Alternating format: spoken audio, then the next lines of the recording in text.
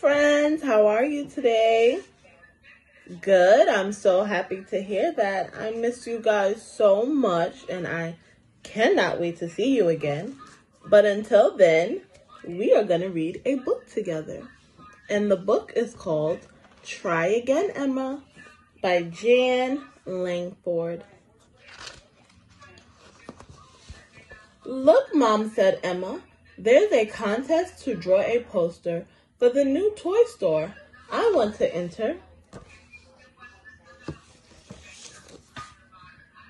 Emma went home and got out her crayons. She drew a beautiful poster. It had a train on it. Friends, look at Emma's face. How do you think she is feeling right now? Do you think she is happy? Do you think she is sad? Do you think she's excited or sleepy? Look at her face. What is her face telling us?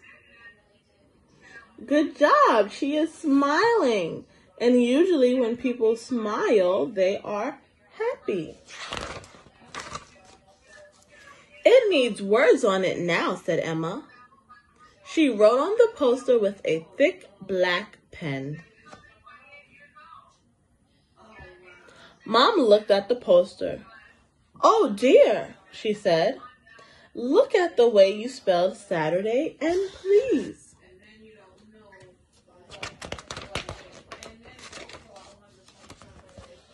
Emma tried to rub out the words. Now it's a mess. What can I do? she asked angrily. Try again, said Mom. Look at Emma's face. How does her face look now? Good job. She is pouting. She's angry. Why is she angry? Good guess. Good job. She's angry because she messed up her picture. Emma got more paper and started all over again. Her face changed again. Is she feeling now? She's happy again. See? She was angry here and she's happy here. Emma got herself a drink. Your poster is beautiful, said Mom. Can we take it to the store? asked Emma.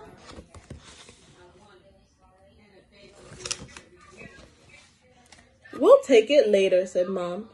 Emma put her drink on the table next to the poster. Uh-oh. Splash! Oh no, cried Emma. She grabbed the poster, but it was too late. The poster was all wet. How do you think Emma feels now? How would you feel if this happened to you? If you spilled water on your picture that you just finished drawing? How would you feel? You would feel like Emma, right? And how do you think Emma feels? Sad, maybe? Are there any clues on her face that can help us guess how she's feeling? Emma was very upset now. What can I do? she asked. Try again, said Mom.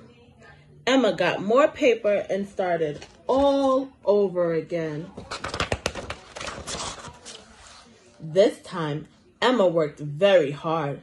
This poster was bigger and better than ever. When she finished, Emma rolled it up and put a rubber band around it. Let's take it to the toy store now, said Emma. They walked to the toy store and put the poster in the mail slot.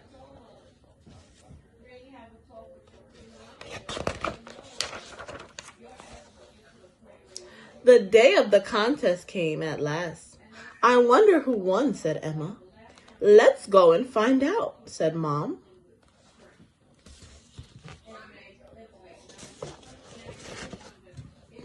There was a big crowd outside the toy store. Emma poster was right in the middle of the store window. Can you believe that? How do you think Emma is feeling right now? Her poster is hanging on the toy store window. How would you feel? You've won, said Mom. She gave Emma a hug. Only because I kept on trying, said Emma. Emma's mom gave her a big hug. And looking at Emma's face, I think she is so happy that she won. Good thing that she never gave up, right, friends? Maybe at home you can draw a picture of the different emotions Emma felt in the book. Do you remember the different emotions she felt?